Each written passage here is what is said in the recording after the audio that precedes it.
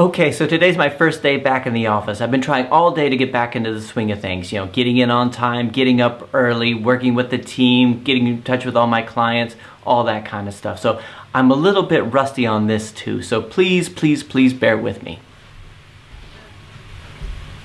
Just a second. Hi, this is the Daily Overpass. My name is Eric and I make apps. Now today I want to answer my favorite question can you actually make money with apps?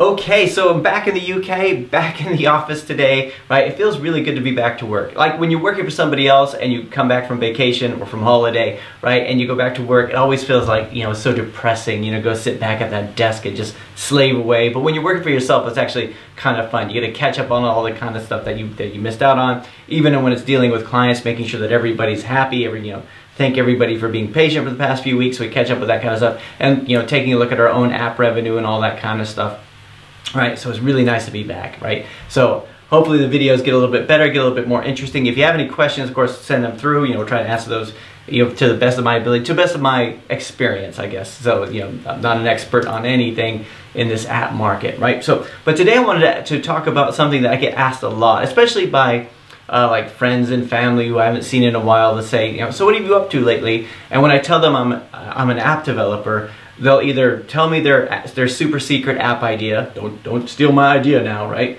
Or they'll tell me or they'll ask the question can you actually make money you know can you actually make money do it being an app developer? Right? Which i think is is such an open-ended question. It's like if you were a musician and somebody says can you actually make money being a musician? You say well yeah look at you know look at Jay-Z, look at, you know, look at all these big stars, but then there's also people working in the bars who are just making a living, and then there's people who make nothing, right? And I think the same way about the app market. When people say, can you actually make money doing that, what I hear is, can you easily make money doing that, right? So I, so I never, I never like to answer, answer that question, but yeah, you, you can, right? So what I thought I'd do today was show you some of my revenue from like the passive revenue today. So the other day I talked about passive and active revenue. So we have client work which brings in active revenue, but we also have the passive revenue that comes in based on work that we've done, you know, a long time ago. So or you know, you know, we still keep putting apps out, but you know, it's the the few key ones still seem to be making the money. So so I have a look at my screen over here, which is kind of I want to compare uh, you know the last month, so July of 2017 with July of 2016. So I have the spreadsheet here, which we, we've been keeping up since you know the end of 2014 of the daily revenue. So we just kind of have an idea of how much money is being made each day, right? And it's um, so it's not, so you see here that it's not a huge amount. If it was just me, like if I just decided I wanted to just you know, sack everyone and just live off the, the revenue from the apps, I could do, but that's like, you know, that's not, you know, I still might see myself at the bottom of this ladder, right? I want to be bigger than it is now. So we have a look here at this, uh, at this report, uh, and this takes the different revenue streams that we have. So there's the ad networks and, you know, uh, you know, iTunes, Google Play, all that kind of stuff. So you can see here, uh, let's just go to July of, July 1st of last year, uh, you know, it was, um, you know, made at 157, uh, 38 that day. This is in pounds, so and even last year, pounds used to be a lot more worth a lot more than they are now. You know, after Brexit, the, the, the value of the pound dropped, right? Uh, dropped a bit. I think it's going to drop some more. So maybe I need to start looking for U.S. clients, right? So, uh, so you can see here, you know, last year was, you know, AdMob was, you know, 80 pounds, you know, 109. Uh, you know, we were doing really well with, with Google payments, with Google Wallet uh, payments, and also with iTunes. So you can see here we got uh, we got iTunes, which comes in USD, but we convert it to GBP. Uh, we got AppLovin, so we were doing pretty well with AppLovin last year too. So yeah, that was actually a pretty good cont you know contender with AdMob. So they were working really well together. So uh, and then we've got um, you know so that's in GBP uh, and then Facebook. And Facebook for it's always been you know I don't think I've it's been very rare to make more than 10, 10 pounds a day in Facebook. A lot of times it's like two or three. So, but it's still it's enough to put onto the spreadsheet. There's I've used other ad networks like like Smaato, um, you know, Vungle. You know, Vungle. We've been serving so many ads through Vungle. I have made I made pennies through Vungle. I don't, you know, I don't, I don't even check it anymore because it's just, it's just a, such a low ECPM we have on that, right?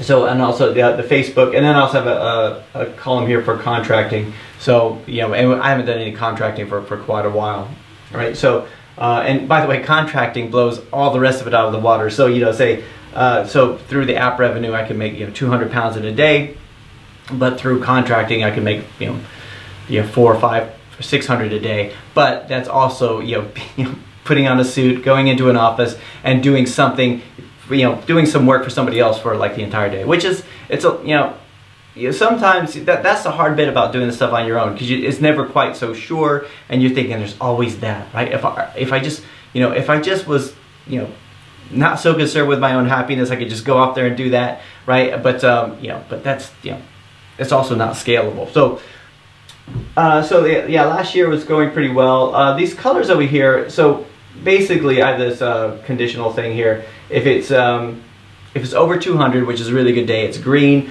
If it's uh, you know below 150, then it's red. Uh, if it's between 180 and 200, then it's yellow. So you know, last July we were doing pretty well, but August we did really well. So August everything shot up. Uh, you know, to most days were above 200. So like this is why I'm concerned now with it. So let's shoot over to today. Uh, so this is July of the, this past July. And you see most days here we're in the red. So we're talking about 144, 145, and it's mainly AdMob. The AdMob's gone so much lower, uh, but um, but also you know Facebook and AppLovin are much lower than they used to be, at least in my opinion. So it's something that you know I'd be interested to see what you guys. So this is one of the things. I'm trying not to show you guys my RPMs because I'm not supposed to show you my RPMs, but I could show you just these values. So so we're just being really generic here. If I show you uh, August, uh, August is even worse. August is like every day has been below 150, uh, but um, I'm hoping things shoot up, and it's mainly because of AdMob.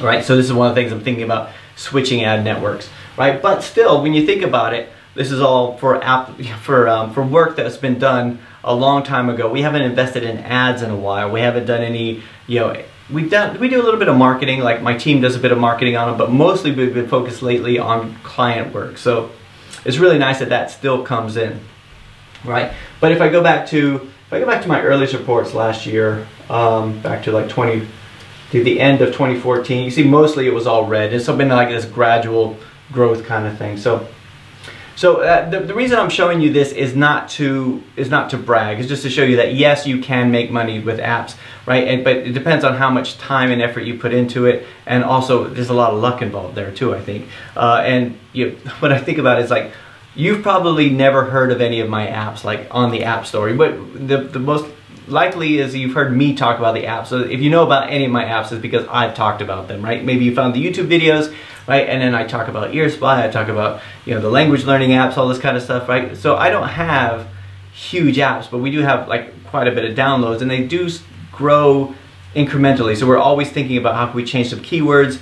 The problem I had in the early days is I was change keywords and then like if I didn't have immediate results, I would just change them again, right? And one of the nice things about client work is not so much that is the revenue from client work, but is that just gets me away from tinkering with the apps, with the you know keywords and, and screenshots and all this kind of stuff. So lets things just sort of, you know, you know, germinate there for a while working on something else and I come back and look at it, oh hey, that's working, or hey, that's not working, ooh, that's taking a nosedive, that kind of stuff. So anyway, the short answer to the question is, can you make money with apps? Is yes, you, you know, you absolutely can. You could be one of the big guys who, you know, who, you know, you could be the Jay-Z of the app world. You could be the Candy Crush, the, um, uh, you know, Flappy Birds or whatever, and you're making that, that big killing, or you could be, you know, someone like me who's just, who's just scraping by, who's just, you know, making a living from it. It's a nice little, you know, supplement to my income. Or you could be somebody who's not making anything because you've tried it and you think, oh, it's not working, it's just, it's not worth doing, but you just need to put a little bit more effort into it, think more about the marketing, tinker around with those uh, with those keywords. You know, try reskinning your apps, uh, all this kind of stuff. You know, just if, if one market's not working, try to you know take your application and reskin it to a new theme or something like that. If you can get a bit more traction and get it in front of the right people. So it is possible and sometimes it might feel like it's not possible and some people will tell me that oh yeah you, you really can't make money with apps anymore you used to be able to but now you can't you can it's just you know it's just not as easy as, as everyone makes it out to be. But I don't think anything is. I don't think, you know, if you want to become a YouTube star, I don't think that's as easy. I don't, if you want to become a, a best-selling ebook author, I don't think that's as easy as people make it sound. You know, I don't think, if you want to do Facebook, um, uh, sorry, the FBA, Amazon stuff, you know, uh, fulfilled by Amazon, I don't think that's as easy as people make it out to be. Right? And, and it, you, when people say, can you make money doing that? Yeah, you can, but it's not it's not easy money. It's just, you know, it's like every other market. At least that's my opinion. Anyway, that's it for today. I will talk to you guys tomorrow.